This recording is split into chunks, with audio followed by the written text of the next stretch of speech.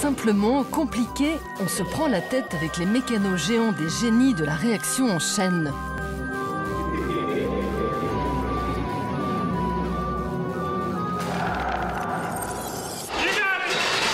Allez Lorraine, vas-y.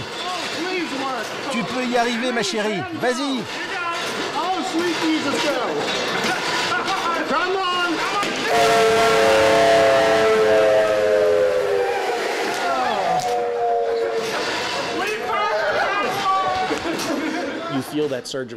Tu sens comme une bouffée d'émotion, ton cœur se met à battre un peu plus vite, tu peux plus bouger, tu sais que tu y es presque, tu approches du but. C'est le genre de sensation qu'on doit ressentir quand on grimpe l'Everest. C'est vraiment un truc que personne ne fait. Ce qui fait battre le cœur de Zach à 200 à l'heure est une aberration pour le commun des mortels.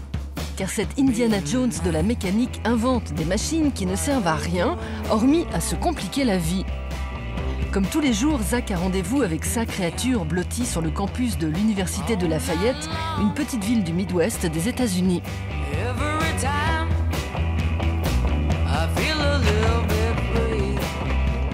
Lorraine est vraiment balèze. Dans ses bons jours, Lorraine accomplit 25 actions en moins de 2 minutes, comme tailler un crayon, presser des oranges ou étaler du dentifrice, et peut enchaîner au total 300 réactions, un record du monde.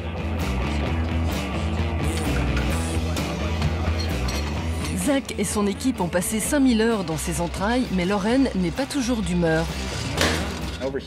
Là, c'est le département maquillage, les choses qu'on utilise pour faire une petite beauté à Lorraine, ma machine. Euh, par exemple, ça, je dirais que c'est son mascara.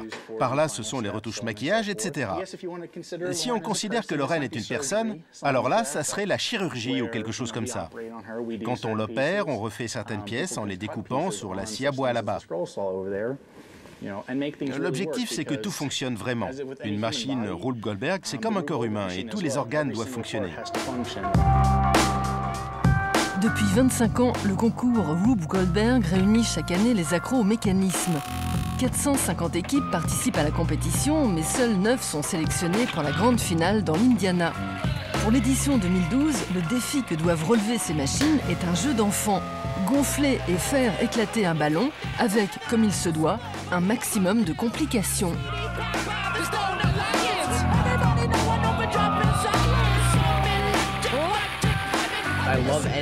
J'adore les moteurs, tous ces petits engrenages qui déclenchent des leviers. J'adore regarder toutes ces réactions en chaîne qui se suivent. C'est vraiment ça qui me fait vibrer dans la vie.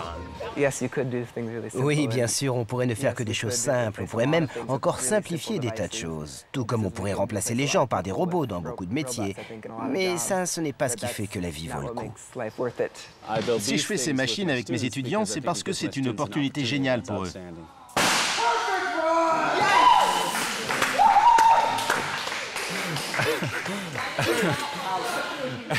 voilà pourquoi je fais ça.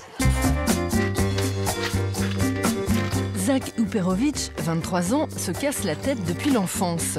Ses parents militaires déménagent au gré de leurs affectations, du coup, les seuls amis qui le suivent sont ses Legos. Pour ses études, il choisit d'intégrer l'université de Lafayette, qui abrite l'une des meilleures équipes du Rube Goldberg Contest. En tant que capitaine, Zach accumule une vingtaine de trophées et deux records du monde. Pour vivre à fond son aventure avec Lorraine, il a plaqué ses études d'ingénieur. J'en suis venu à détester les ingénieurs. De nos jours, il y a des iPods géants qui ressemblent à des briques et qui pourraient assommer les gens si on les balançait. Et puis il y a les tout petits comme celui-là qu'on m'a offert pour mon diplôme. C'est tout petit, tellement petit que je vais le perdre, ou le manger même s'il se retrouve au mauvais endroit. C'est ce que Rube Goldberg faisait quand il dessinait ses machines. Il se moquait de tout ça. Et c'est ce qu'on essaie de faire avec nos machines à nous. Rube Goldberg et le progrès, ça fait deux. Embauché en 1904 comme ingénieur au service des égouts de San Francisco, il tient six mois. Exaspéré par les machines qui envahissent le quotidien, Rube devient dessinateur de presse. Comme son pote Charlie Chaplin, il tourne en bourrique les temps modernes avec ses caricatures de machines aussi complexes qu'inutiles. Pour lui, le monde marche sur la tête en voulant tout rendre mécanique. Ses dessins font bidonner l'Amérique à tel point que Rube Goldberg devient un adjectif au même titre que Kafka. Jennifer conserve bien au chaud sous son lit les dessins qui ont valu à son grand-père le prix Pulitzer. Jusqu'à la fin de ses jours, à 87 ans, Rube Goldberg déboulonne le pouvoir des machines.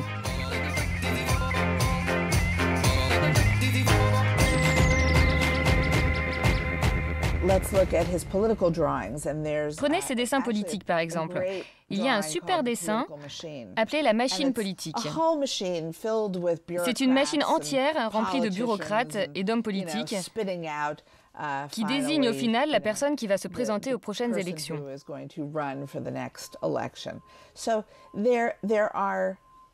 On retrouve constamment des éléments de son esprit mécanique dans l'ensemble de son œuvre.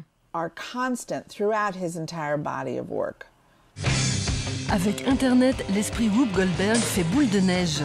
À 7 ans, Audrey Clemens est déjà un forcené des machines compliquées. Sa vidéo postée il y a deux mois compte plus de 700 000 vues.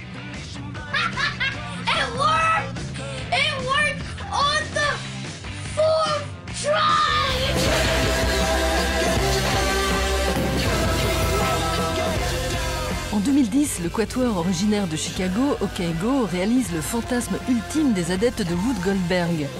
Le groupe recrute le réalisateur anglais James Frost pour concevoir ce clip effet domino version XXL. Après cinq mois de préparation, le tournage commence. Deux jours plus tard, ils tiennent la prise parfaite. Trois minutes d'enchaînement en cascade sans montage.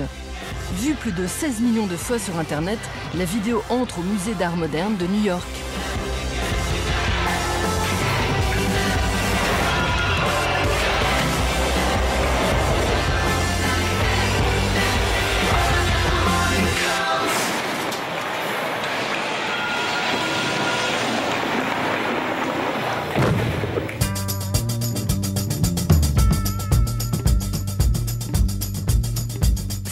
Williamsburg, l'ancien quartier industriel de Brooklyn à New York, que Joseph Herrscher, 26 ans, a fait son nid. Un décor de machines géantes pour ce maestro de la mécanique domestique. Fils d'un pianiste de jazz néo-zélandais et d'une musicienne klezmer, Joseph grandit en Nouvelle-Zélande avec une passion pour les problèmes et leurs solutions.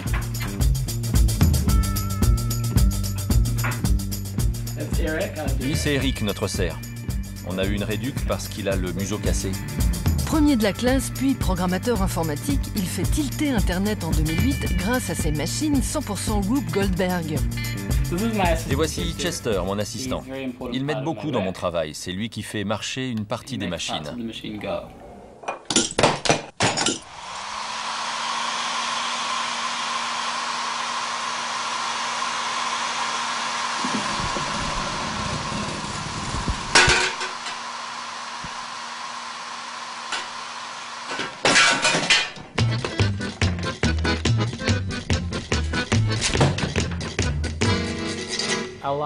Nos vies sont tellement remplies de technologies aujourd'hui et tellement obsédées par l'efficacité qu'on peut facilement perdre le contact avec ce qui nous entoure.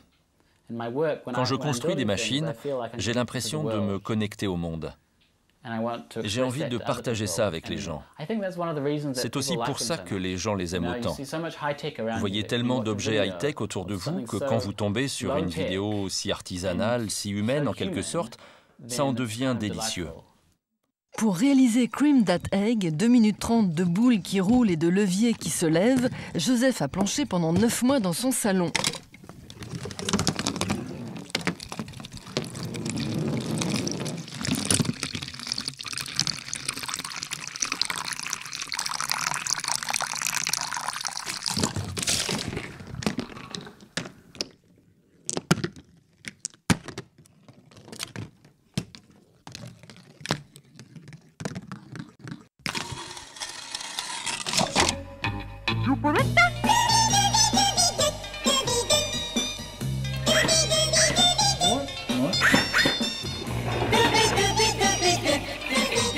Lorsqu'il conçoit ses machines, il ne fait jamais aucun calcul ni aucune mesure. Sa planche de salut, ses dessins.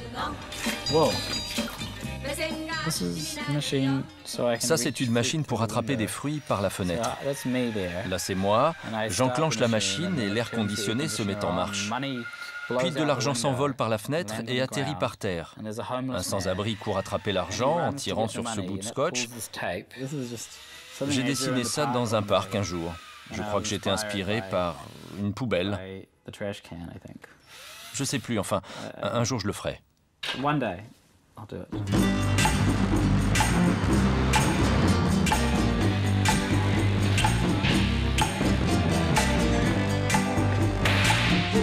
C'est pas le moment de se dégonfler pour les participants du contest Whoop Goldberg. Dans cet entrepôt loué pour l'occasion, l'équipe de Saint-Olaf, composée de 15 étudiants venus d'une université privée des environs de Minneapolis, a bricolé cette machine apocalyptique. Là, un tremblement de terre fait fondre la banquise.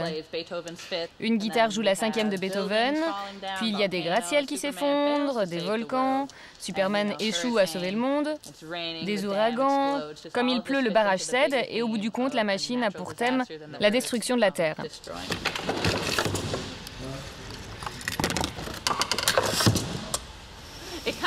C'est plutôt un truc de mec.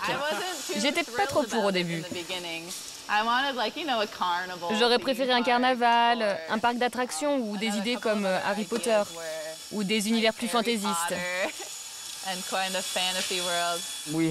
Ici, on a plein de pinces, des ballons éclatés et plein de trucs. Et du fil électrique. Ronald démonte et remonte tout ce qu'il trouve. L'esprit de Rube Goldberg vit en lui. Je vois parfois la vie comme une machine de Rube um, Goldberg. Parce que c'est aussi un enchaînement de réactions. Um, Par exemple, le fait que mon père épouse ma mère déclenche mon existence. Et il y a tellement d'autres choses qui sont liées les unes aux autres. C'est ce qu'on a voulu faire avec notre machine. Au départ, une seule chose en enclenche une autre, qui en déclenche encore une autre, et tu finis par atteindre ton objectif. Je pense que la vie, c'est ça aussi.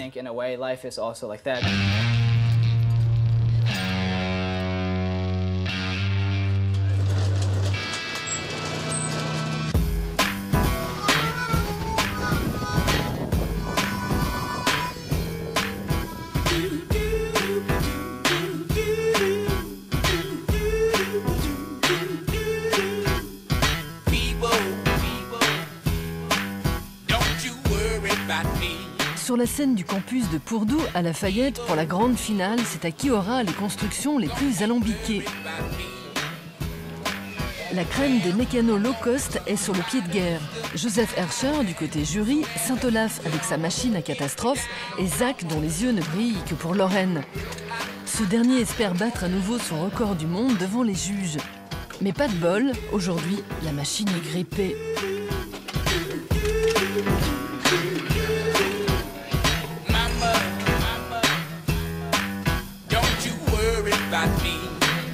Comment tu te sens Je tiens plus en place. C'était pas trop mal, mais il faut vraiment... Alex, on remet tout en place On doit tout remettre en place, absolument.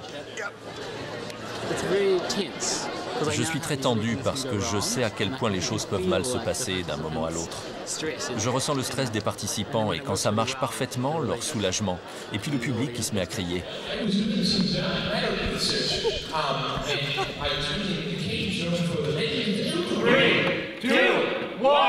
Autour de l'équipe de Saint-Olave d'entrer dans l'arène, l'apocalypse ira-t-elle jusqu'à son terme?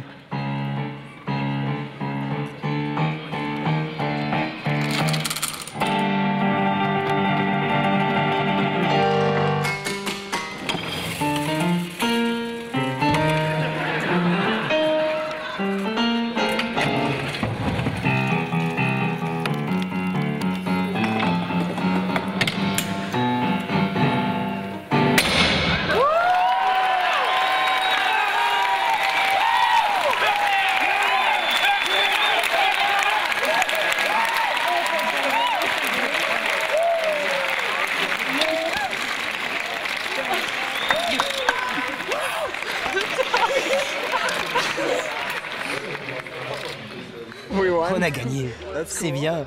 Je pense que c'est presque aussi excitant que de les fabriquer. Mais quand même, ce que je préfère avec les machines, c'est quand je les fabrique.